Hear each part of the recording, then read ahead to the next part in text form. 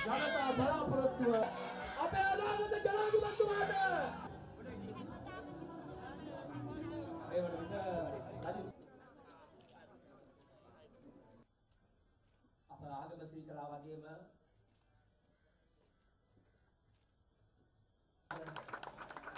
හොඳයි අප. සරත් පොන්සේකා මැතිතුමනි වරුණී මන්ත්‍රීවරයනි අපේ ජනාධිපති අපෙන් ඒ අයක සාකච්ඡා කරලා නමුත් අද ජනතාව බලාපොරොත්තුකාරී හන්ද මේ සියල්ලම අපි බලයේ හිටියත් කාටවත් හැකියාවක් වෙන්නේ නැහැ මැතිවරණය තුළ ඇතුළු පිරිවරක් ඇවිල්ලා තිබෙනවා. ඉතින් එතුමාද සජිත් ප්‍රේමදාස මහත්මයාට සිරස්මත් මේකත් කරන්න ෆොටෝ එක. එවන් මහතා දුව ඒ වගේම අප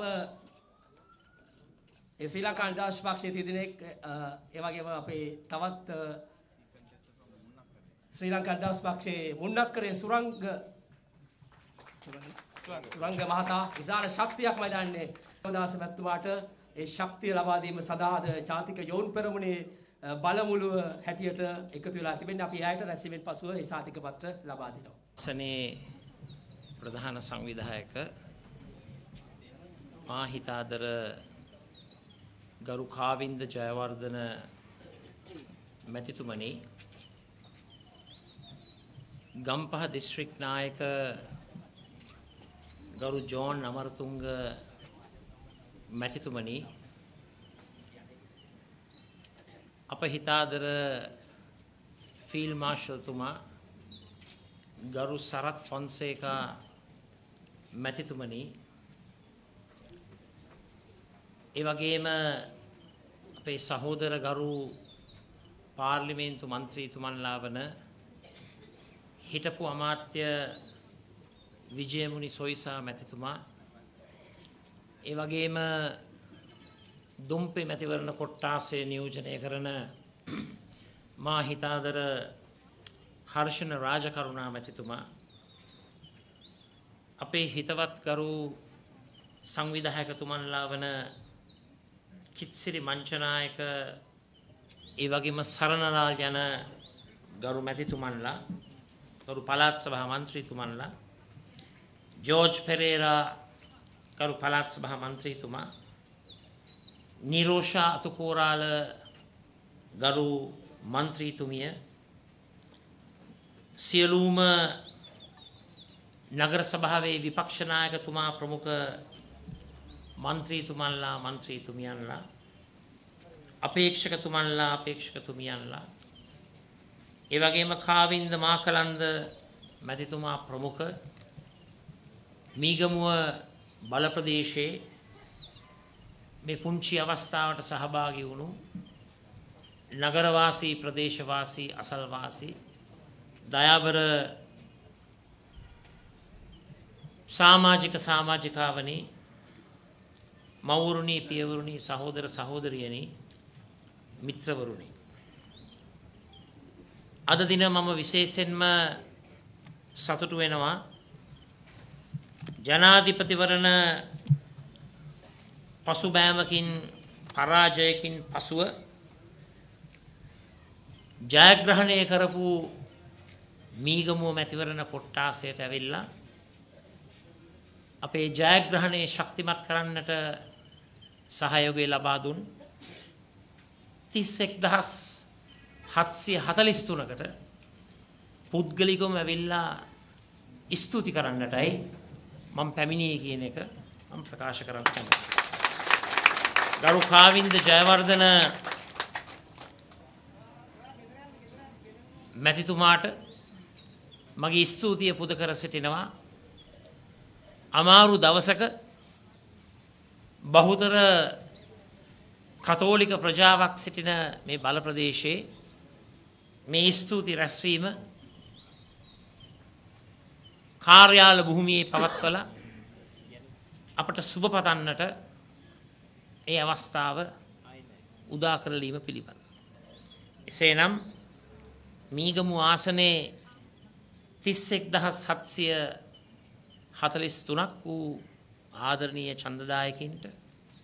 ඒ වගේම ලංකාවෙම පනස්පන් ලක්ෂ හැට හතර දහස් දෙසිය තිස් නමයක් වූ ඒ චන්දදායකින්ට අපව ශක්තිමත් කිරීම පිළිබඳව නොයෙකුත් දුක්ගැහැට මැද්දේ අපි වෙනුවෙන් ඒ අතිවිශාල කැපකිරීම ඉටු කිරීම පිළිබඳව අවංකාදර ස්තුතිය පුද කර සිටින. මුලද යෝජනා වුණා දිස්ත්‍රික්ක විසි පහක රැස්වීම් විසි පහක් තියලා අපි ස්තුතිය පල කරමුයි කිය. නමුත් අපි හිතල බැලුවා චන්දයක් කරන්නට රැස්වීම එකසිය පනස් සතරක් කරනවා නම්. දිනුව හෝ පැරදුනා හෝ චන්දය ලබා දුන්නු අපේ ආදරණීය චන්දදායකින්ට ස්තුති කරන්නටත් අපි රැස්වීම එකසිය පනස් සතරක් පවත්වන්නට මැලිවිය යුතු නැහැ. ඒ නිසා මේ වන විට ගම්පහ දිස්ත්‍රික්කේ අපි ආසන ගණනාවක මේ ස්තුති කිරීමේ රැස්වීම් ක්‍රියාත්මක කරලා තිබෙනවා. ලබන ඉරිදා දවසේ අපේ ෆිල් මාර්ෂල්තුමාගේ කැලණි ආසනෙත් ඒ වගේම ජෝන් අමරතුංග මැතිතුමාගේ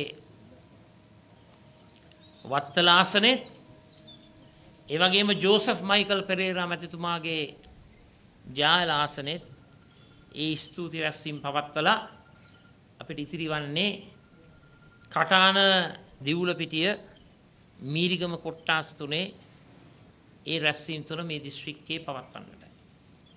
ඉන් ඇත්ත වශයෙන්ම මිත්‍රවරුණි අපේ බලාපොරොත්තුව අපේ අරමුණ ඉදිරි මහමැතිවරණයට පෙර එහෙමත් නැත්නම් මහමැතිවරණයේ ප්‍රකාශයට පත් කරන්නට පෙර පෙබරවාරි අගවන විට අපි කෙසේ හෝ මේ මැතිවරණ කොට්ටාස එකසිය පනස් හතරටම ගිහිල්ලා පොදු ජනතාවගේ අපේ සාමාජිකින්ගේ දෙපතුළ ළඟටම ගිහිල්ලා අපේ ස්තුතිය පුද කරලා අවසන් කරනවයි කියන එක මේ අවස්ථාවේ කියන්නට කැමති.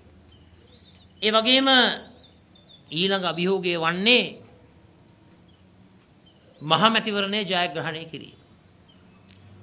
ලෙහෙසි පහසු කාර්යක් නොවනත් අපි බලාපොරොත්තු වෙනවා පසුබෑම තුළින් පාඩන් ඉගෙනගෙන අඩුපාඩු හදාගෙන අපේ අරමුණ සහ බලාපොරොත්තුව ජනාධිපතිවරණයටත් වැඩිය ශක්තිමත්ව කාර්යශූරව කැපකිරීම් කරලා මහන්සි වෙලා කඩිසරව ජනාධිපතිවරණයට රැස්වීම් එකසිය පනස් හතරක් පැවැත්වුවනං අපි ලෑස්ති එය දෙගුණ තෙගුණ කරලා වැඩි වැඩියෙන් රටවටේ ගිහිල්ල. වැඩි වැඩියෙන් ගම්පහ දිස්ත්‍රිකයේ ඇවිල්ල. අපේ සිටින අපේ ගරු මන්ත්‍රීතුමන්ලාගේ සියලුම මන්ත්‍රී ආසන ජයග්‍රහණය කිරවීම උදෙසා අපට කරන්න පුළුවන් උපරිම කැපකිරීම කරන්නට අපි සැදී පැහැදී සිටිනවයි කියන එක මම මේ අවස්ථාවේ කියන්නට කැමති. මිත්‍රවරුණි පසුබායමකින් පරාජයකින් පසුව අපිට පුළුවන් අලුත් දිරියක් ශක්තියක් ඇඟට අරගෙන හොඳ ජයග්‍රාහී ගමනක් යන්න. ජයග්‍රහණය උදෙසා පුළුල් සන්ධානයක් ගොඩනගල සියලුම දෙනා එකතු කරගෙන අපි මේ ජයග්‍රාහී ගමන යන්නට බලාපොරොත්තු වෙන. පරාජය තුළින් අද දසදහස් ගණනින් අපේ සාමාජික සාමාජිකාවන් ඉමහත් පීඩනයකට අසහනයකට ලක්වෙන. දේශපාලන පලිගැනීමේ ක්‍රියාවලියන් අද විසි හතර පෑ පුරාවටම ක්‍රියාත්මක වෙන. තර්ජනය මර්ධනය රැකියා අහිමි කිරීම් වැඩ තහනම් කිරීම්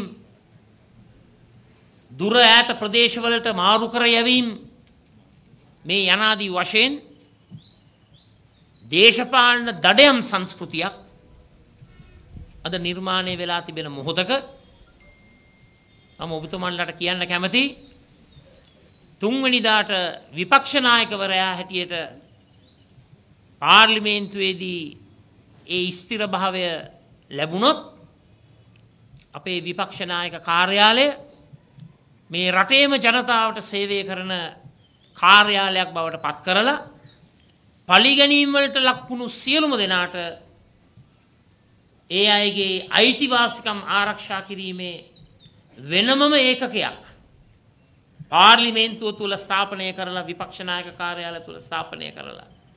අසහනයට පීඩනයට ලක්වුණු ඒ සියලු දෙනාගේ ඒ අභ්‍යාචනා ලේගන ගත කරලා. අපේ රජයක් බිහිවුණු විගසම ඒ රජයේ අවසන් කාර්යය නොවෙයි පළවෙනි කාර්ය හැටියට පලිගැනීම්වලට වේදනාවලට ලක්වුණු සියලුම දෙනාට සහන සැලසීම අපි ඉෂ්ට කරනවායි කියන එක මේ අවස්ථාවේ කියන්නට කැමති. මිත්‍රවරුනි ජයග්‍රහණය කරා මහමැතිවරණයේදී ඉදිරියට යන්නට නම් අලුත් දැක්මක් තුළින් නව ජීවයක් තුළින් නව ශක්තියක් තුළින් ජනතාවාදී ප්‍රතිපත්ති මාලාවක් තුළින් එවන් දර්ශනයක් ඔස්සේ අලුත් මුහුණුවරකින් අපි ඉදිරියට යන්නට ඕන. තරුණ පරපුරේ ජවසම්පන්න භාවයක් වැඩිහිටි පරපුරේ අත්දැකීම් සහ පළපුරුද්දක් මේ සීලු දෙකේම සීලු දේම මිශ්‍රණයකින් අපි අලුත් ගමනක් නිර්මාණය කරන්නට ඕන. ඒ ගමන ජනතාව පතන ගමනක් විය යුතුමයි. ජනතාව ඉල්ලන ගමනක් විය යුතුමයි. අපේ පෞද්ගලික හිතුමතයට පෞද්ගලික ආසාවන් රුචි අරිචුකම් අනුව ජාතික දර්ශනයක් නිර්මාණය කිරීම වැරදි. රටේ ජනතාවගේ ඉල්ලුමට සැපයුම ලබා දෙන.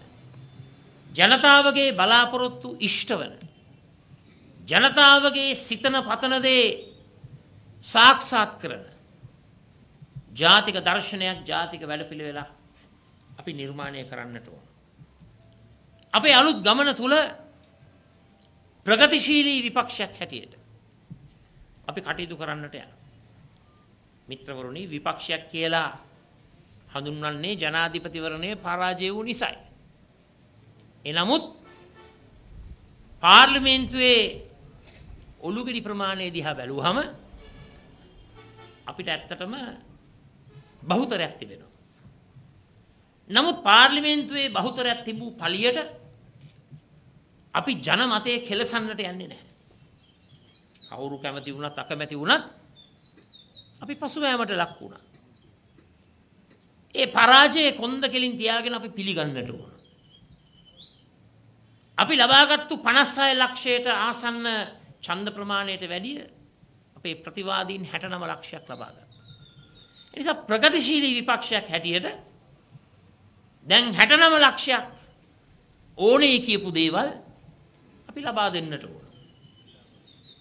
දැන් මට මතකයි ගම්පහ දිස්ත්‍රික්කයේ ගම්පහ නගරයේ කේන්ද්‍ර කරගෙන අධි තාක්ෂණික කලාපයක් බවට පත් කරනවා කිව්වා. මම යෝජනා කරනවා රජයට අධි තාක්ෂණ කලාපය නිර්මාණය කිරීම සඳහා අවශ්‍ය ප්‍රතිපාදනවලට අනුමැතිය ලබා දෙන්නට. අපේ ආණ්ඩුව ලැස්ති. දැන් අධිතාක්ෂණ කලාපයක් නිර්මාණය කරන්න බැහැන්නේ පාර්ලිමේන්තුව කල් දමල. පාර්ලිමේන්තුව කල් දමල මුදල් ටික වෙන් කරන්න බැහැනේ. දැන් සමහර වෙලාවකට ජනතාව අතරට එන්න පුළුවන් අපිට ජනාධිපතිවරණයෙන් පස්සේ ජනවර්මක් ඕන පාර්ලිමේන්තු බලය ඕන අපේ ප්‍රතිපත්තිය ක්‍රියාත්මක කරන්නේ කියලා සමහරෙක් ජනතාව අතරට එන්න පුළුවන්. ඒ මොන දේ කිව්වත් අපි ලෑස්ති අර ප්‍රතිපත්ති මාලාවේ අඩංගු වෙලා තිබෙන සියලුම යෝජනා ටික ඉස්පිල්ලක් පාපිල්ලක් නෑර ක්‍රියාත්මක කරන්නට අපි ලෑස්ති අත් උස්සන්න. අත් එක අතක් නෙවෙයි අත් දෙකම උස්සන්න. ඒ නිසා ගම්පහ දිස්ත්‍රික්කයේම අධිතාක්ෂණ කලාපයක් කරනවට අපි කැමතියි. ඉතින් අධිතාක්ෂණ කලාපයක් කියන්නේ වචන මාලාවක්. දැන් ඒව ක්‍රියාවට නංවන්නට ඕන. කරනවයි කියපු දේවල් කරන්නට ඕන. දැන් ඔබතුමන්ලා සියලු දෙනාම දන්නවා මැතිවරණ සමයේ මහා භීතිකාවක් ඇති කරා විදේශකින්ට රට පාවල දෙනවයි කියලා. පිටරටල් වලට අපේ සම්පත් විකුණනවයි කිව්වා. හම්මන්තොට වරායේ බහුතර අයිතියක් චීනට දුන්නයි කිව්වා. දැන් බලන්න මිත්‍රවරුනි මෙහෙව් කියපු ඇත්තෝ දැන් දින දෙකකට තුනකට ඉස්සෙල්ලා මොකද්ද කරේ? කොළඹ බල ප්‍රදේශයේ තිබෙන සුපිරිම ඉඩමක් ක්‍රමවේදය අපි දන්නේ නැහැ. හිතු මතේටම ලබා දුන්න විදේශීය කොම්පැනියකට. දැන් ඒගොල්ලෝ එහෙම කරනකොට ඒක දේශප්‍රේමී. අපි ක්‍රමවේදයක් තුල පිළිවෙලකට වැඩක් කරනකොට ඒක දේශද්‍රෝහී. දැන් මොකද්ද හම්බන්තොට වරායේ givisuma ගැන මොකද්ද කිව්වේ? රට පාවල දුන්නයි කිව්වා. රටේ ජාතික ආරක්ෂාවට බරපතල බලපෑමක් කිව්වා. රට විකුණුවයි කිව්වා. රටේ සම්පත් විනාශ කරයි කිව්වා. මෙන්න පහුගිය දවසක ප්‍රකාශයක් කරනවා වර්තමාන රජය නෑ හම්බන්තොට කිවිසුමේ මොනවක්වත් වෙනස් කරන්න. කිසිම දෙයක් වෙනස් කරන්න නැහැ. ඒක කිව්ව විතරයි චීන රජය ඒ ප්‍රකාශයට සුබ පැතුවා. එතකොට මිත්‍රවරුනි හම්මන්තොට ගිවිසුම අපි ක්‍රියාත්මක කරපු එක දේශද්‍රෝහි. ඡන්ද කාලේ කිව්වේ ඔක්කොම වෙනස් කරනවා. ඒ ගිවිසුම් ටික ඉරලා ඉරලා කුණු බක්කියට දමනවායි කිව්වා. දැන් ඒ ප්‍රකාශවලට 69 ලක්ෂයක් මංගුණා වෙලා වරම ලබා දුන්නයින් පස්සේ දැන් කියනවා හම්බන්තොට ගිවිසුමේ කිසි වෙනසක් වෙන්නේ නැහැ. එතකොට ඉබේටම දේශද්‍රෝහී කිවිසුම දේශප්‍රේමී වෙනවා. මරු දේශප්‍රේමීත්වය මරු දේශද්‍රෝහීත්වය. ඒ විතරක් නෙවෙයි. ඡන්දේ කාලේ ප්‍රසිද්ධියට පත් වුණා අකුරු තුනක්. MCC රට පාවල දෙන නීච කිවිසුමක් කිව්වා. මේ මගේ වචන නෙවෙයි. පාදඩ ක්‍රියාවක් කිව්වා. පහත් ක්‍රියාවක් කිව්වා. මේ MCC ගිවිසුම තුලින් රටේ බෞද්ධ ජනතාවට ඇමරිකානු තානාපති කාර්යාලයට ගිහිල්ලා ටිකට් පතක් ගන්න සිද්ධ වෙනවයි කිව්වා. අති උතුම් ජයශ්‍රී මහ බෝධීන් වහන්සේ වන්දනාමාන කරන්න. අති උතුම් වූ දළදා හාමුදුරුව වන්දනාමාන කරන්නට ඩොනල් ට්‍රම්ප්ගේ ආණ්ඩුවෙන් පාස්පෝර්ට් එකක් ගන්න සිද්ධ වෙයි කිව්වා. බලයට ආපු විගසම MCC ගිවිසුම මහා සයුරට දමනවයි කිව්වා. හැබැයි මිත්‍රවරුනි දැන් ඡන්දෙන් පස්සේ මේ 70 වෙතිහේ කතාවක් කියනවනේ. මොකද මේ 70 වෙතිහේ කතාව? හිටි හැටියේම ජනාධිපතිවරණයෙන් පසුව හරියට මරණින්දක ඉඳපු කණ්ඩායමක් නැගිටලා මෙච්චර කල් මහා හීනයක් දකිමින් හිටියා වගේ ඉඳගෙන එක පාරටම නැගිටලා කියනවා MCC කිවිසුමේ 70ක් හොඳයි 100ට 130යි හොඳ නැත්තේ. මම අහන්න කැමති 69 ලක්ෂයක් ඡන්දය දුන්නේ MCC කිවිසුම ඉරලා දමන්නටද? එහෙම නැත්නම් 70 30 කතාවකටද? අපි අහන්න කැමති ඇයි මේ 70 30 කතාව මැතිවරණ වේදිකාවේ කිව්වේ නැහැ? එතනින් කරලා තිබෙන්නේ 69 ලක්ෂයක් මංගුලා කිරීම. සාවත්‍ය තොරතුරු ඉදිරිපත් කිරීම. බොරුව මත පදනම් වෙලා ජයග්‍රහණයක් ලබා ගැනීම. මම ඔබතුමන්ලට කියන්න කැමති අපේ මන්ත්‍රී කණ්ඩායමේ විපක්ෂයේ සියලු දෙනාම ලෑස්ති එක අතක් නෙවෙයි අත් දෙකම උස්සලා MCC කිවිසුමයි XR කිවිසුමයි සෝෆා කිවිසුමයි සිංගප්පූරු ශ්‍රී ලංකා වෙළඳ කිවිසුමයි ඔය හැම ගිවිසුමක්ම කෑලි කෑලි වලට ඉරලා දමන්නට අපි ලෑස්ති. රජයට පූර්ණ සහයෝගය ලබා දෙන්න.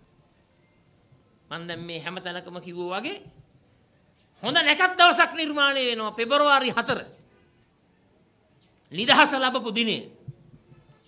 දැන් කිව්වනේ මේ MCC ගිවිසුමෙන් ඇක්සාරකින් සෝෆාරකින් අපේ රට වහල් දේශයක් කරයි කියලා.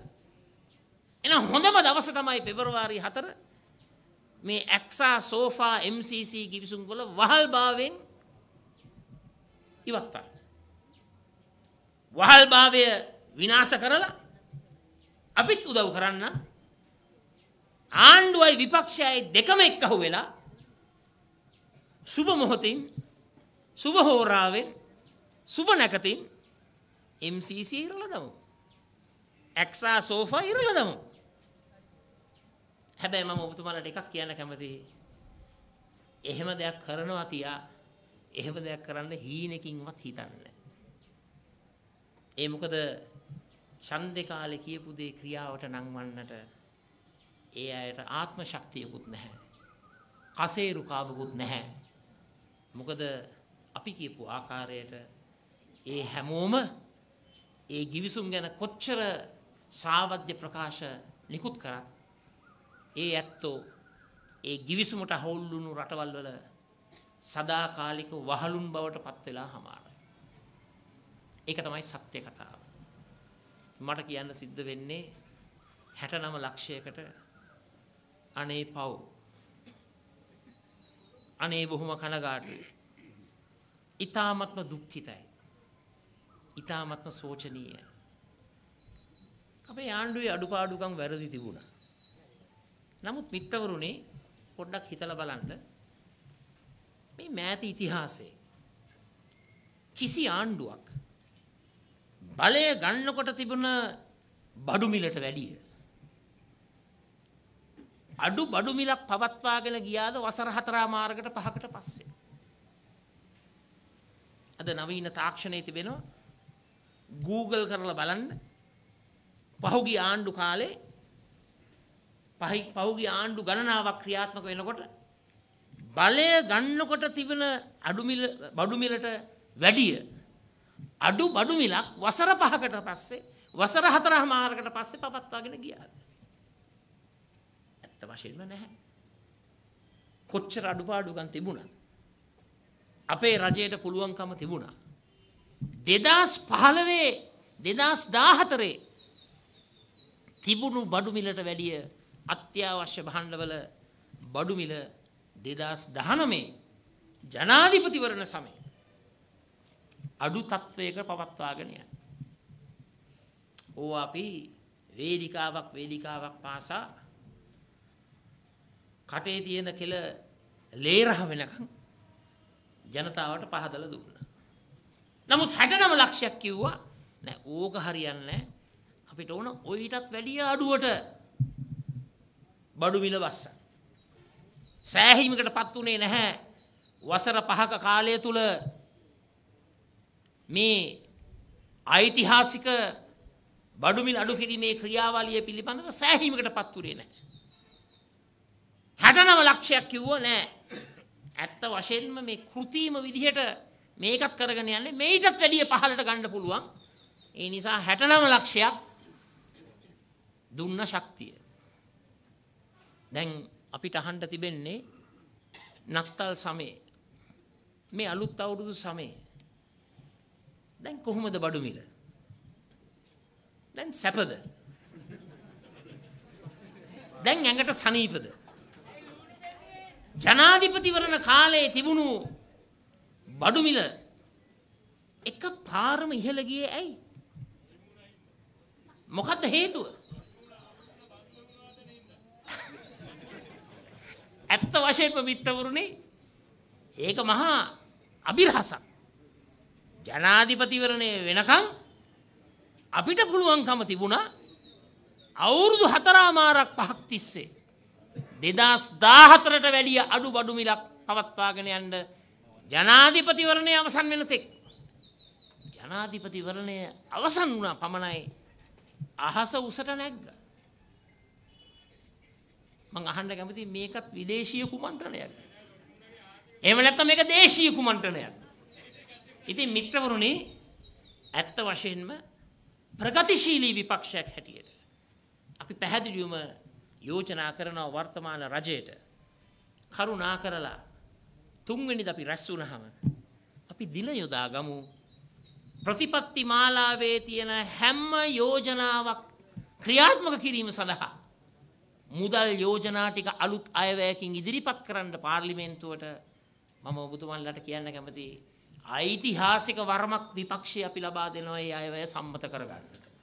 මොකද රටේ ජනතාව බලාගෙන ඉන්නවා අර බඩුමල්ල කන්න. ඔබතුමන්ලට මතක ඇති දුප්පත්කම තුරන් කරන්නට අපි කිව්වා සමෘද්ධියයි ජනසවියයි දෙකම දෙනවයි කිය. හැටම ලක්ෂයක් කිව්වා නෑ නෑ සමෘද්ධියයි ජනසවියයි දෙකම දෙන්න ඒවා ඒ වැඩි. අපිට ඕනේ මේ බඩු මල්ල. අපි ආසයි මල්ලට. දැන් අපි කැමති මල්ල දීම සඳහා මුදල් ටික පාර්ලිමේන්තුවේ අනුමත කරන්න. මේක තමයි නූතන විපක්ෂය. බලන්න කොච්චර ලස්සන විපක්ෂයක්ද. ඔහු ප්‍රගතිශීලී විපක්ෂයක්. සාමාන්‍යයෙන් අපි දැක්ක විපක්ෂය තමයි ආණ්ඩුව කරන හැම දෙයකටම දොස් කියනවානේ. හැම දෙම වැරදි කියනවා. අපි කියනවා බඩුමල්ල වැරදි නෑ. බඩුමල්ල බොහොම හොඳයි. හැබැයි පාර්ලිමේන්තුව කල් දමන්නේ නැතුව බඩුමල්ල විතරක් නෙවෙයි ඉතිරි මලු ටික දෙන්නටත් ඉතිරි යෝජනා ටික ක්‍රියාත්මක කරන්නටත් මුදල් යෝජනා ටික අලුත් අයවැයකින් ගෙනෙන්න අපි පොරොන්දු වෙනවා. ඒ ප්‍රගතිශීලී අයවැය සඳහා අපේ පූර්ණ සහයෝගය. එක කොන්දේසියක් තියෙනවා පාර්ලිමේන්තුව මැතිවරණින් පසුවත් ඒ සහන ටික ආපහු හරවන්න නැතුව ඉදිරියට ක්‍රියාත්මක කරන අපි දන්නේ නැහැ මේවා මේ මාස දෙකකට තුනකට අප්‍රේල් මාසයටයි මාර්තු මාසයටයි මැයි මාසයටයි විතරක් සීමා වෙලාද කියලා. මොකද දැන් දන්නවනේ MCC කරපු බොරුව වංචාව. ඒකම කරයි දන්නේ නැහැ මේ මළු වලට. ඒ නිසා මම පැහැදිලිවම කියන්න කැමතියි මම යෝජනා කරනවා වර්තමාන රජයට කරුණා කරලා ඉදිරිපත් කරපු ප්‍රතිපත්ති මාලාව 69 ලක්ෂයක් ඕනේ කියපු දේවල් ටික ලබා දෙන්නට අපි ලෑස්ති අපේ ශක්තිය ලබා දෙන්න. මොකද නැත්තම් මේගොල්ලෝ ගම් නගර වලට ගිහිල්ලා කියන්නේ මොකද්ද? අපිට දෙන්න වරම ජනාධිපතිවරණයේදී ලබා දුන්නු පොරොන්දු ටික ක්‍රියාත්මක කරන්න. ආයේ තව වරන් ඕනේ නැහැ. මේ විපක්ෂයේ වරමම ඇති. විපක්ෂයේ එකසිය ගානක් වූ ඡන්ද ටිකයි ඒ පොහොට්ටුවට සම්බන්ධ ශ්‍රී ලංකා නිදහස් පක්ෂයට සම්බන්ධ ඒ ගණන් ටික බැලුවහම දල වශයෙන් 225න් 220ක් විතර දීලා. මේ 220ම ඡන්ද දීලා අපිට පුළුවන් අර යෝජනා ටික ක්‍රියාත්මක කරන්න. දැන් බලන්න මීට දින කිහිපයකට පෙර රටේ ජාතික ආදායම අඩු කරන රටේ ජනතාවට බදු සහන ලබා දෙන බිලියන 500ත් 600ත් අතර බදු සහන යෝජනා ගෙනාව. බොහොම හොඳ දෙයක්. හැබැයි ඒ යෝජනා ක්‍රියාත්මක කරන්නට ඒ මුදල් සහන ලබා දෙන්නට ඒ කොටසකකට පාර්ලිමේන්තුවේ අනුමැතිය ඕනේ. මේ කැබිනට් තීන්දුව ප්‍රසිද්ධියේ ප්‍රකාශ කරලා පත්‍රවල සහ ප්‍රවෘත්ති සිරස්තලවල ලොකුවට කියවුවට හරියන්නේ නැහැ. මේක ක්‍රියාවට නංවන්නට ඕන. ඒ ක්‍රියාවට නැංවීම තුලින් රජයේ ආදායමට බිලියන 500ත් 600ත් අතර අහිමි වෙනවා. රටේ ජනතාවට හම් වෙනවා බිලියන 500ත් 600ත් අතර සහන. ඔක්කොම බදු සහන. අපි ලෑස්ති අත් උස්සන්න. අපි ලෑස්ති අපේ අනුමැතිය ලබා දෙන්න. හැබැයි ඉතින් ඕවයි ආර්ථික ඵල විපාක නම් අපි දන්නේ නැහැ. ඒ ආර්ථික ඵල විපාක වලට අපිට වග කියන්නට බෑ. ඒ මොකද අපිටත් වැඩිය හොඳට රට ගැන දන්න විශේෂඥයෝ තමයි මේ යෝජනා ටික ඔක්කොම හදලා ලක්ෂ 69කගේ අනුමැතිය ලබාගෙන අද අපේ වගකීම සහ යුතුයකම වන්නේ 69 ලක්ෂයක් ලබා දුන්නු ඒ වරමට අපේ සහයෝගයත් ශක්තියත් එකතු කරන්න. එහෙනම් හිතාදර මිත්‍රවරුනි මේට වඩා දීර්ඝව මම කතා කරන්නට යන්නේ නැහැ. අපේ කාවින්ද ජයවර්ධන මැතිතුමා බොහොම උනන්දුවෙන් උද්‍යෝගයෙන් මේ මීගමුව මැතිවරණ කොට්ටාසය සංවිධානය කරලා ඒ ගරු නාගරික මන්ත්‍රීතුමන්ලා සියලු දෙනාගේම සංවිධායකවරු සියලු දෙනාගේම ඒ සහයෝගයේ ශක්තිය තුලින් අපිට ජයග්‍රහණයක් අත්පත් කර දුන්නා. සමහරෙක් කියන්න පුළුවන් පහුගිය ජනාධිපතිවරණයට වැඩිය වැඩි ඡන්ද ප්‍රමාණය අඩු වුණයි කියලා. නමුත් අපි හිතා ගන්නට ඕන 2018 පළාත් පාලන මැතිවරණයට වැඩිය අපි කොච්චර ඉදිරියට ආවද කියන එක. ඒ නිසා අපිට හුඟක් දේවල් තියෙනවා හිතන්න. ඔබතුමන්ලා දන්නවද මේ පළාත් පාලන මැතිවරණය ගැන කතා කරනකොට 2018 මම දන්න තරමින් බලේ හිටපු ආණ්ඩුවක් බලය තියාගෙන මම මතකෙන් කියන්නේ මෙහෙම පළාත් පාලන මැතිවරණ පෙරදිලා නැහැ. මම හිතන්නේ කිසිම දවසක නැහැ. ඉතින් ඒ වගේ පරාජයක් තුලින් අපි පහලකට වැටිලා තමයි අපි යම් තාක් දුරකට උඩකට ආවේ. විශේෂයෙන් මම මතක් කරන්නට ඕන මේ මීගමුවේ මේ වැඩපිළිවෙලට අපේ කාවින්ද ජයවර්ධන මැතිතුමා විශේෂ ශක්තියක් ලබා දුන්නා. ඒ නිසා අපේ යුතුයකම තමයි ඊළඟට තියෙන මහමැතිවරණ වැඩපිළිවෙලේ අනිවාර්යෙන්ම මීගමුවෙන් කාවින්ද ජයවර්ධන මැතිතුමාව මැති සභයට යවන්නට ඕන. එතුමාගේ ජයග්‍රහණයේ තහවුරු කරන අතරතුර අපේ තව මන්ත්‍රීතුමන්ලා ගණනාවක් සිටිනවා. අපේ ජෝන් අමරතුංග දිස්ත්‍රික් සංවිධානයේ සභාපතිතුමා. ඒ වගේම කැලණිය මැතිවරණ කොට්ටාසේ ෆීල්ඩ් මාෂල් සරත් ෆොන්සේක මැතිතුමා. හර්ෂණ රාජකරුණා මැතිතුමා. අපේ විජිතමුණි සොයිසා මැතිතුමා. තවත් අපේ සහෝදර පාර්ලිමේන්තු මන්ත්‍රීතුමන්ලා ගණනාවක් ඉන්නවා මේ දිස්ත්‍රික්කේ. ඒ වගේම ආසන සංවිධායකතුමන්ලා සිටිනවා. මේ සියලු දෙනාගේම ජයග්‍රහණය වෙනුවෙන් අපට කරන්න පුළුවන් උපරිම කැපකිරීම ඊළඟ මහ මැතිවරණයේදී ඉෂ්ට කරන්නට අපි සැදී පැහැදී සිටිනවා මම මගේ මැතිවරණ ජයග්‍රහණය ගැනවත් හිතන්නට යන්නේ නැහැ මොකද මම දන්නවා දින 30ක 35ක කාලයක් තුල ඇත්ත වශයෙන්ම අපේ සියලුම දෙනා දෙන්න පුළුවන් උපරිම සහයෝගය ලබා දුන්නා. යම් යම් අඩුපාඩුකම් සිදු වෙන්නට ඇති. නමුත් අඩුපාඩුකම් ගැන අපි එළියේ කතා කරන්නට යන්නේ නැහැ. අපි අඩුපාඩුකම් නිවැරදි කරගෙන අඩුම ගණනේ මහමැතිවරණයේදී අපි හොඳ ශක්තිමත් ජයග්‍රහණයක් ලබන්නට එඩිතරව ඉදිරිපත් වෙන්නට කටයුතු කරනවායි කියමින් විශේෂයෙන්ම තව පැය කිහිපයක් තුල උදා වෙන නව වසර අපේ ආදරණීය මීගමුව ප්‍රදේශය ඇතුළු ගම්පහ දිස්ත්‍රික්කයේ මුළු මහත් මාතෘ භූමියේ සෑම බල ප්‍රදේශයකම අපේ රටේ සහෝදර ජනතාවගේ ජන ජීවිතය සුඛිත මුදිත කරවන සෞභාග්‍ය සම්පන්න කරවන සස්ත්‍රීක වූ ශක්තිමත් වූ නව වසරක් සුභවාදී නව වසරක් නිර්මාණය වේවා කියා පතමින් ඔබ සියලු දෙනාටම සුබ රාත්‍රියක් ප්‍රාර්ථනා කරනවා.